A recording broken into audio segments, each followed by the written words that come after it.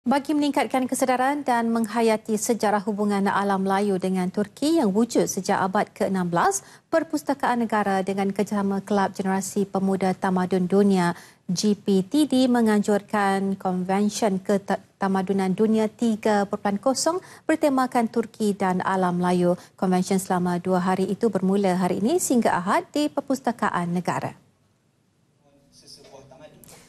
Bagi maksud ini, Konvensyen bertujuan untuk mengetengahkan fakta sekaligus menonjolkan hubungan baik antara kedua-dua tamadun besar berkenaan dan memperkukuhkannya kembali.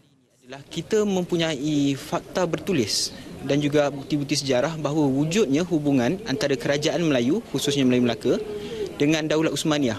Yang mana kita tahu Daulat Usmaniyah ni boleh kita katakan salah satu superpower.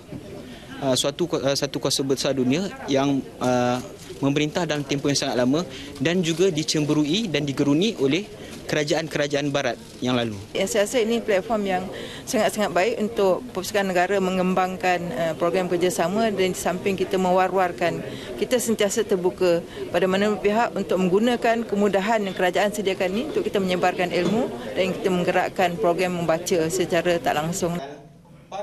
Bagi peserta, ia menjadi medium memperkasa dunia Melayu yang sememangnya memiliki tamadun unik dan membanggakan.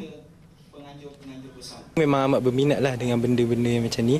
Sebab pada mulanya saya dulu macam kita rasa macam malu dan segan lah kena untuk jadi bangsa Melayu dan sebagainya.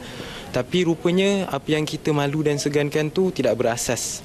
Sebab sebenarnya tamadun Melayu kita ni ah, banyak kemajuan dia yang selama ni kita sendiri tak sedar. Sebabnya salah satunya dia ada tentang manuskrip, uh, tentang uh, menceritakan tentang Daulah Turki Utsmaniyah dan salah satunya sebabnya saya punya research saya berkenaan tentang manuskrip juga dan uh, saya dapat maklumat sedikit lah dari convention ni.